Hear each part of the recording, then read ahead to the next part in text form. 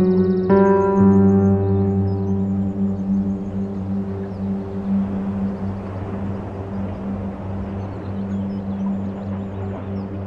you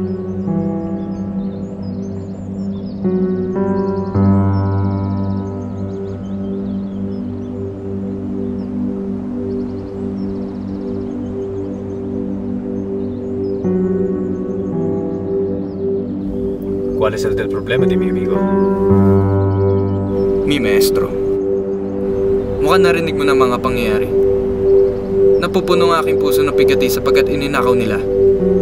Ang tangi kong inaasam at pinapangarap. Ang pinta ng isang obra. En la vida hay muchos retos. Esto es solo una de las luchas que tienen que hacer frente. Ngunit hindi mo naintindihan, maestro. Hindi lang pangarap ang nawala nung itinapon nila ako. Pati na rin ang sigla at inspirasyon na nagtulak sa akin upang gumawa ng likha. Si ese es el caso, si realmente quieren que esté mal, entonces no debes dejar que nada te impida perseguir su sueño. De de mi? De de mi? Maestro! Kung meron mang ibang paraan upang makapag-aral, makapagpinta ako muli, tingin mo ba hindi ko to aksyonan? Alam mo naman na walang ibang tao maglalabis pa sa pagpinta, kundi ako.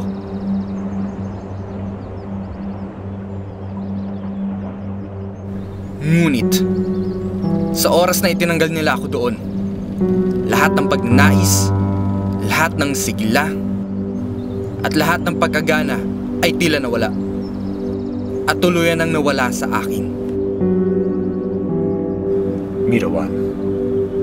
No he venido aquí para discutir con usted. Yo ya sabía que ibas a decir que incluso antes de venir aquí. Documentos de viaje, documentos y todo el papel de otras obras que necesita para Escuela de Bellas Artes de San Fernando. Siga su sueño, Juan. No todos los días se obtiene una oportunidad de esta manera. Si, maestro. Lohare.